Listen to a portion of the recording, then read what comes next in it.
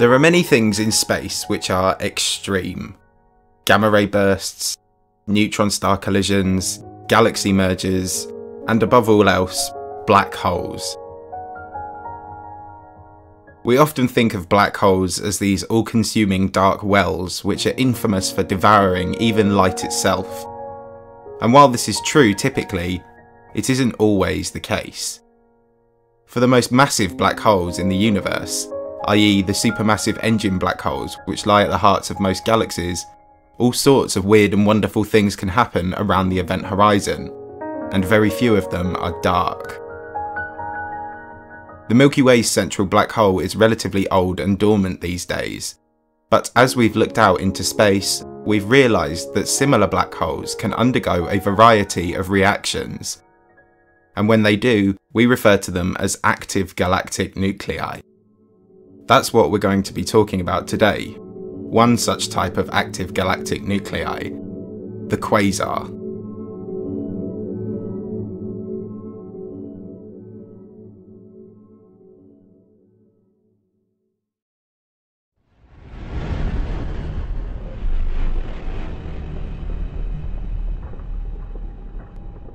The story of a quasar dates all the way back to the early universe, only a few billion years after the Big Bang, a time where gaseous clouds were more prevalent and galaxies were much closer together.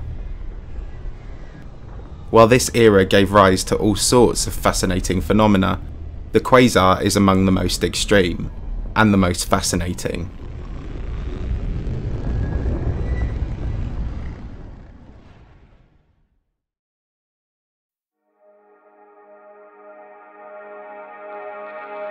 A quasar is an ultra-luminous, ultra-energetic type of active galactic nucleus.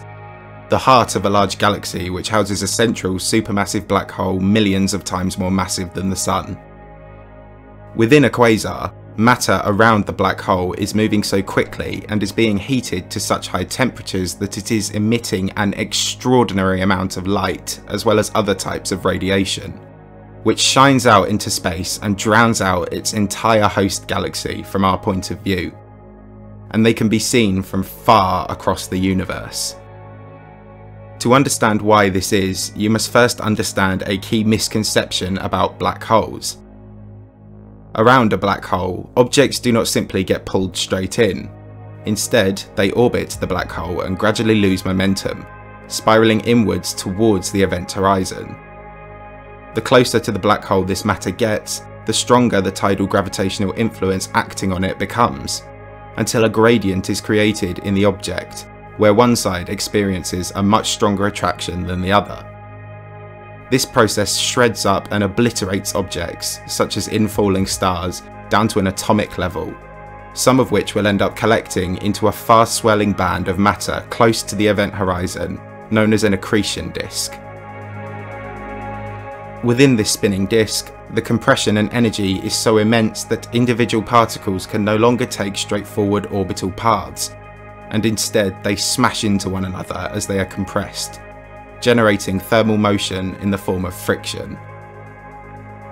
The sheer amount of friction superheats the gas and matter within the accretion disk to millions of Kelvin, and sometimes even higher, as atoms are chaotically compressed and energized, the result is the release of an unbelievable amount of electromagnetic energy, pretty much uniformly across the spectrum, from visible light and ultraviolet, to microwaves and infrared, to X-rays and gamma rays.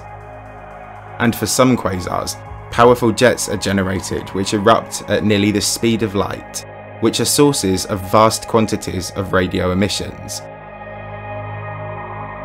The word quasar is a contraction of quasi-stellar, more specifically a quasi-stellar radio source. Quasi-stellar means star-like in Latin, and thus a quasar is a star-like radio source. Named as such because that was how they were first discovered, not through visible light, but through radio astronomy. Despite emitting vast quantities of other types of radiation, in the optical wavelength, quasars are hard to identify, Take this deep photograph of space. On the right hand side we have a star, located within the Milky Way galaxy, no further away than a few thousand light years from the Earth. But on the left, we have a quasar, shining from billions of light years across space. And despite this enormous mismatch in distance, the quasar shines and permeates the galaxy as if it were a star in our own backyard. Quasars are the brightest and most energetic phenomenon in the entire universe, able to outshine any type of star and even entire galaxies containing hundreds of billions of them. Even the dimmest quasars are at least 10 times more luminous than the entire Milky Way galaxy, and the brightest can be more than 100,000 times more luminous. For reference, an object's luminosity is its intrinsic power output measured in watts, usually given in terms of the Sun's luminosity. The Milky Way galaxy is around 25 billion times more luminous than the Sun, and so a quasar being 100,000 times more luminous than the Milky Way implies some truly mind-melting numbers. Most quasars are hundreds of trillions of times more powerful than the Sun, and they are able to outshine stars and other objects so well because the mechanism driving a quasar is a much more efficient energy generating process than those nuclear processes we observe in stars proton-proton chain nuclear fusion, the process powering the Sun and similar stars, is capable of converting about 0.6% of its mass into electromagnetic energy. In contrast, quasars can be up to 50 times more efficient, capable of converting anywhere between 6% and 32% of its mass into energy. In order to output so much, quasars must in turn consume a lot of mass, devouring approximately two Earth's worth of matter every second, equating to around 200 suns per year. The sheer quantities of energy involved can do serious damage to a quasar's surroundings, but it is thought that at a sufficiently large interstellar distance, the effects become negligible. However, in recent years we have witnessed a devastating after effect of a quasar, known as a quasar tsunami, the most powerful kind of energy outflow in the entire universe that we've discovered to date, dwarfing even gamma ray bursts and kilonova explosions. Quasar tsunamis occur when a particularly powerful quasar produces such strong radiation that it blows material out into space, akin to the sun's solar wind emissions. These electrically charged hyperenergetic winds blast out into the galaxy at tens of millions of kilometres an hour, driving away important star-forming gases, stripping planets of their atmospheres, and wreaking havoc on the overall structure of the galaxy itself. But don't worry, we're not in danger of a quasar, or indeed a quasar tsunami occurring within the Milky Way galaxy, as it seems that the optimal age for quasars in the universe has passed. However, it may be the case that a great many of the universe's galaxies, including the Milky Way, underwent a brief stage of quasar activity during the peak quasar epoch in the early universe. Unfortunately, we aren't able to observe any evidence of that in our surrounding space, as we're talking about events that happened billions of years ago. However, there is a saying, a telescope is a time machine, allowing us a one-way glass pane backwards through the ages. When staring out into space, we are limited by light's finite speed. While light speed is the fastest possible speed in the universe, it is painfully slow over intergalactic distances, and thus when we see distant objects, we are seeing events as they were when their light was emitted. Therefore, if we stare deep enough into the darkness, we are able to peer into this age when quasars appeared to dot the universe. We have seen quasars at a range of intergalactic distances. The closest, Markarian 231, is around 580 million light years away from the Earth. However, the vast majority we have found lie significantly further away than this, some so far that they must have occurred only a few hundred million years after the universe was born. We estimate that the peak time for quasar activity was around 10 billion years ago, so little under 4 billion years after the Big Bang. We're not totally sure why, as we still don't know exactly what is required to switch on a quasar, but it is likely that gas supply is a key constraint. And back then, there would have been a lot of it. Clearly, stars and planets falling into a black hole is not enough to generate the friction required for a quasar. But back in the early universe, gaseous irregular galaxies not as structured as we know them today would have been the prevailing type, and they were much closer together thanks to the universe's smaller size. These productive gas-bursting galaxies would have interacted and collided with each other much more frequently than they do in the universe today, flooding each other with gas. This abundance of gas would have fed matter into young engine black holes at a greatly increased rate, creating the density and friction required to allow a quasar to shine.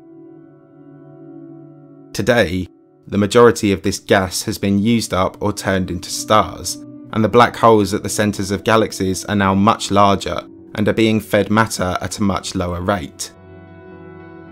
In addition, galaxies do not collide anywhere near as much as they used to as they have been gradually drifting out of range over time due to the expansion of the universe. It is thought that galaxy collisions provide a key mechanism for quasar ignition even in the present day universe, as it is one of the only remaining means for a black hole to acquire enough gas which is unevenly distributed, making quasars much more likely during a collision. Perhaps when the Milky Way and Andromeda galaxies collide, they too will provide the prerequisites to allow a quasar to shine again.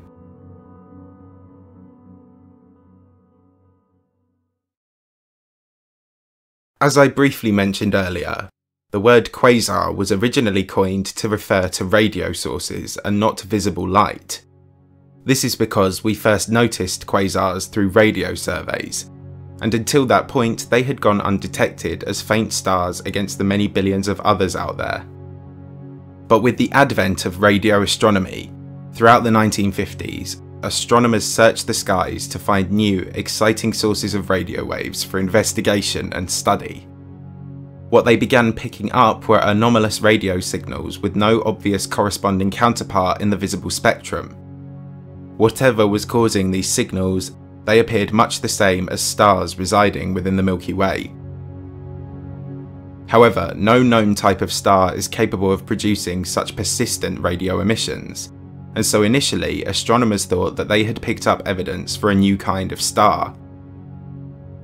By 1960, astronomers had uncovered hundreds of these anomalous signals, with most reported in the third Cambridge catalogue of radio sources.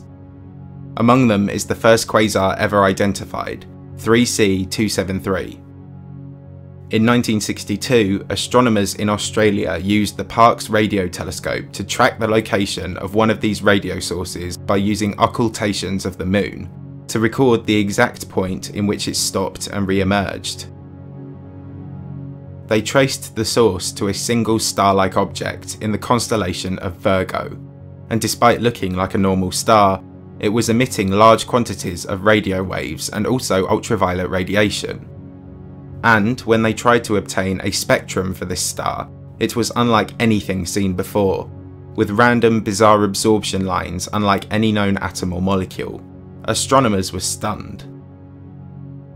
These absorption lines remained a mystery until the following year, when in 1963 Maarten Schmidt used the Hale telescope to reassess this star-like object, and in doing so he accidentally stumbled upon the key to the mystery. As Schmidt attempted to compare the spectral lines of the source with the absorption lines of various known atoms, he realised that the patterns were the same as the standard absorption lines for hydrogen, but shifted by more than 15% towards the red end of the spectrum, which made them barely recognisable. This shift in the spectral data is a result of the universe's expansion and objects moving away from us. Because the universe is expanding in all places, while we don't feel its effects here in our galaxy, the space around us is growing. And as such, everything in the universe appears to be moving away from everything else. And as light travels away from a galaxy and through elongating space to reach Earth, this expansion slightly stretches out the wave, decreasing the photon energy, causing them to appear redder and thus the light is shifted towards the red end of the spectrum. If that was hard to follow, in simple terms, Schmidt realised that whatever is causing the emissions from 3C273, it is not coming from the stars within our galaxy. The source is actually significantly further away, over 2 billion light years in fact, and the galaxy hosting the quasar is receding away from us at a speed of about 47,000 kilometers per second. And so, this motion away from us, coupled with the universe's expansion, turns the light redder as it travels towards Earth. And we can use this phenomenon to work out how far away a galaxy is. 3C273's redshift put it among the most distant objects that had been discovered at the time, but this raised a much bigger question. How could something shine as brightly as stars in our own galaxy from billions of light years away? As we touched on earlier, black hole accretion is dozens of times more efficient in producing light than stellar fusion. And at the time, stars were the most luminous known phenomenon. Whatever was causing these emissions, it was far beyond the limits of any known nuclear or electromagnetic process seen in nature before. And the mystery didn't end there either. In addition to the sheer power of these intergalactic radio sources, Astronomers then retrieved archival photographs of 3C273 dating back to the start of the 1900s and realised that the object had been varying rapidly in brightness over time, considerable and noticeable changes year on year. Moving into the 1970s, we began to broaden our surveying capabilities, specifically X-ray surveys. And while 3C273 had been varying in the optical wavelength year on year, Analysis of the quasar's X-ray emissions showed considerable changes on a weekly basis.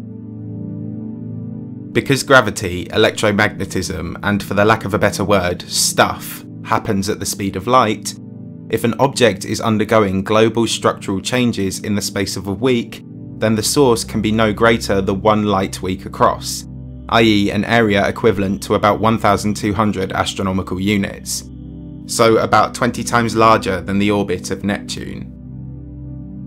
This was yet another bizarre twist in the mystery. Whatever the mechanism was, its energy density would have needed to be off the scale in order to be so luminous within such a compact area.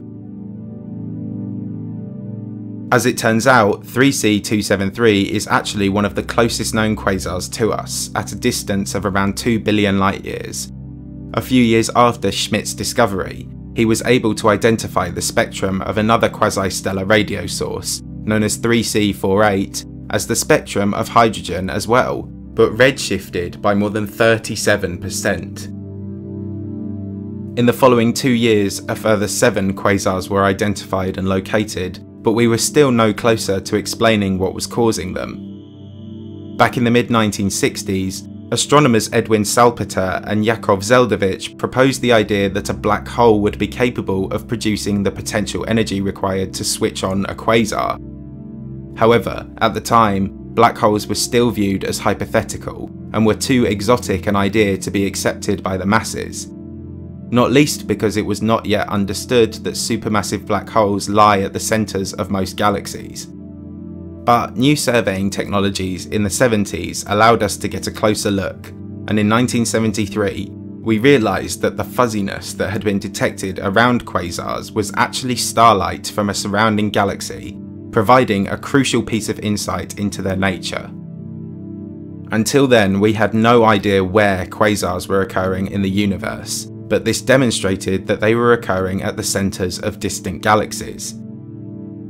This coupled with an increased understanding of engine black holes, led to the hypothesis that, if most distant galaxies contain an extremely compact central black hole surrounded by gas, then it stands to reason that these equally as compact centralized galactic radio sources are the result of gas and matter flowing into black holes.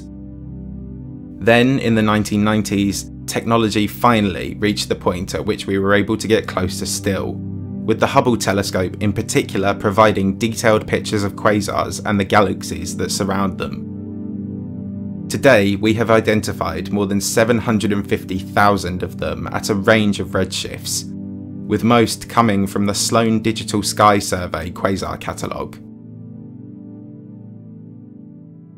Quasars can come in pairs, although most of the time this is due to a phenomenon known as gravitational lensing, where the light from a single quasar is warped as it passes by a massive object, such as a galaxy, causing the light from a single quasar to appear as two in the sky, known as a double quasar or twin quasar.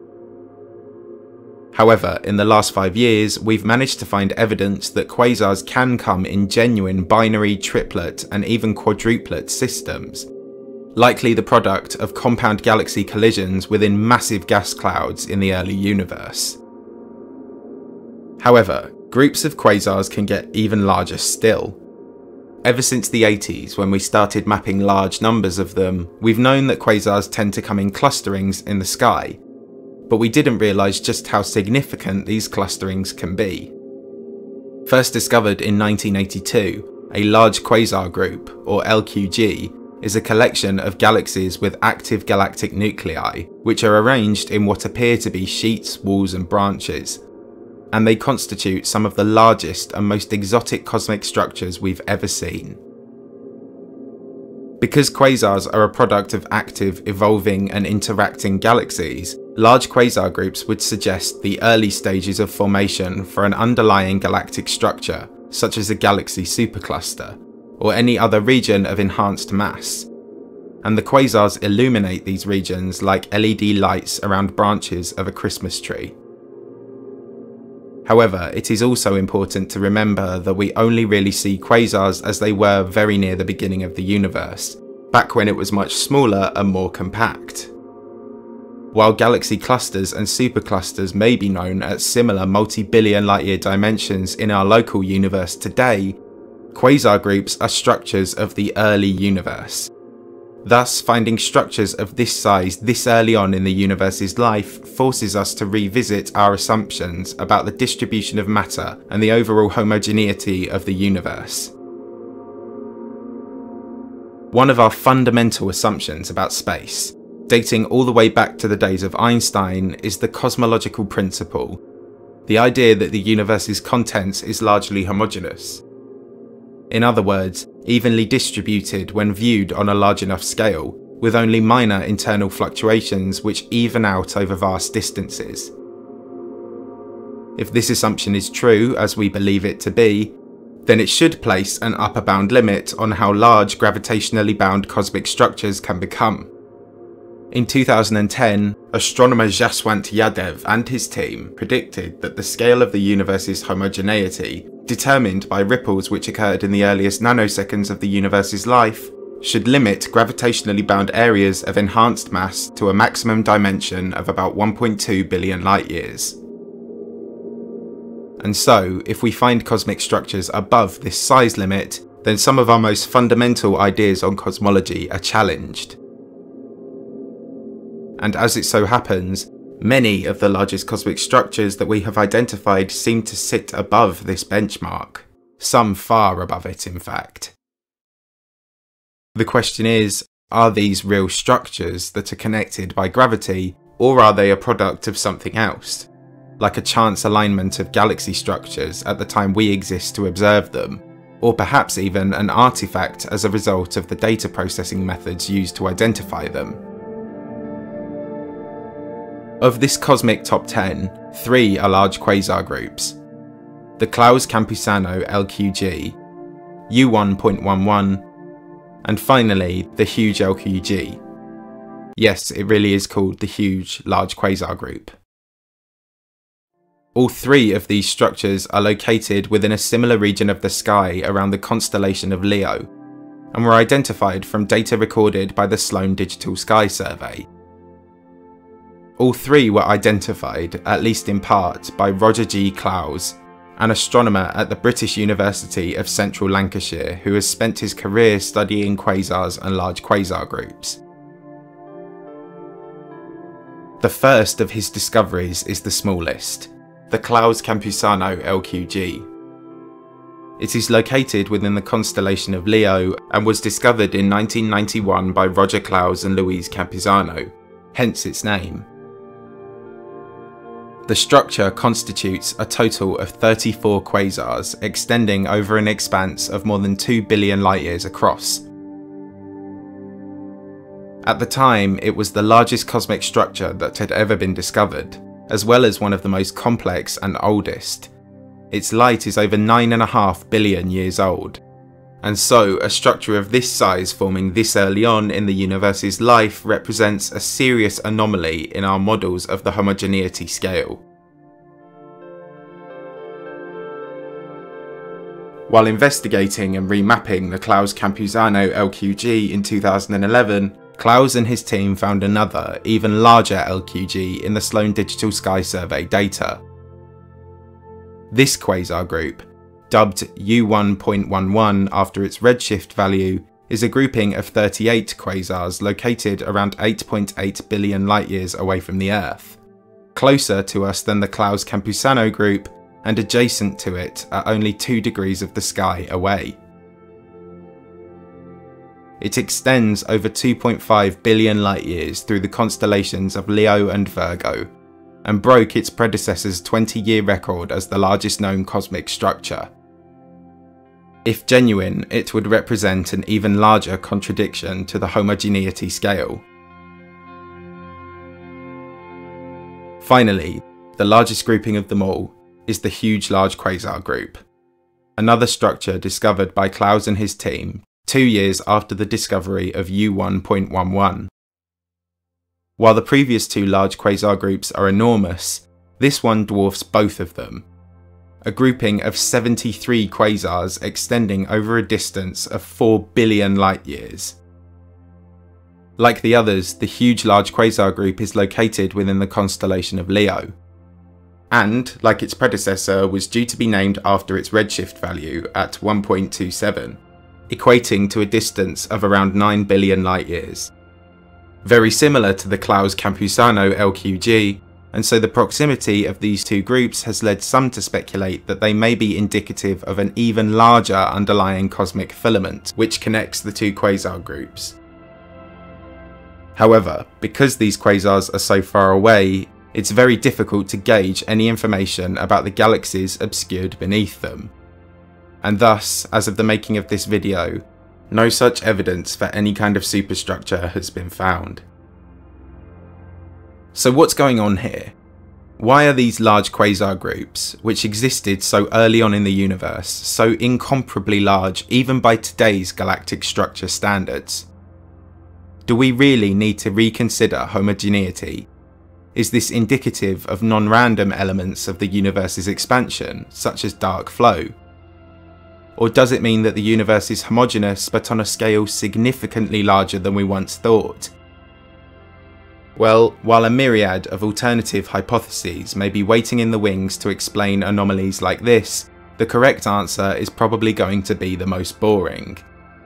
While quasar clusters of this size may be possible, they more than likely don't need to challenge the cosmological principle to exist.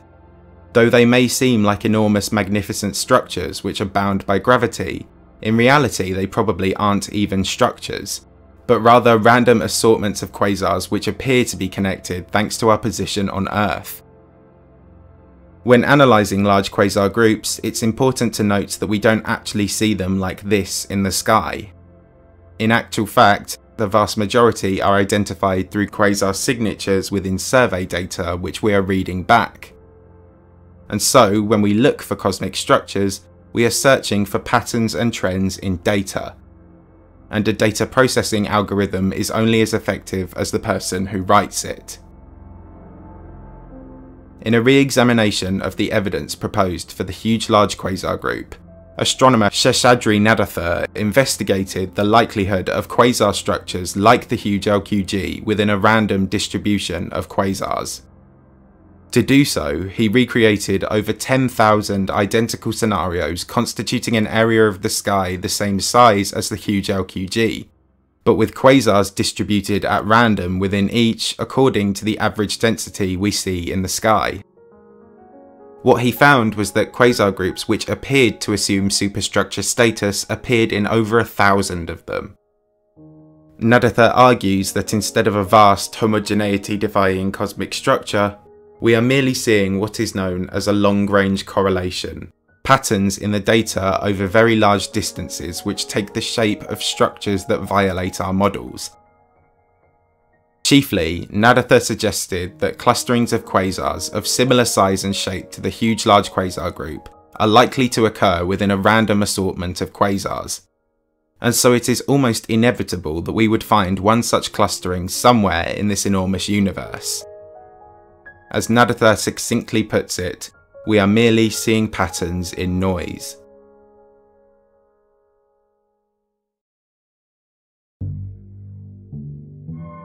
At the end of the day, quasars are quite rare, and are highly spread out over the universe when compared with their size. And as they lie at the centres of large galaxies, the likelihood of quasars themselves making up a meaningful and connected structure is slim. Further research has suggested that quasar groupings do seem to align with more dense regions of the universe, and perhaps there is some as of yet undiscovered mechanism which allows quasar groups to be more prevalent over distances vaster than Yadav's homogeneity limit. However, like most of the structures in our cosmic top 10, their sizes can usually be attributed to something explainable, and don't need to break any of our core cosmological concepts in order to exist. Sadly, we probably won't be able to gauge much more from these quasar groups with time, they are all so far away that the space they occupy will have been pushed far beyond our field of view thanks to the expansion of the universe, and it's likely that they will have all gone out by now anyway. Quasars probably do still occur in some form or another throughout the universe, but they are not anywhere near as common as they used to be. And thankfully, not something we should ever have to worry about within the Milky Way.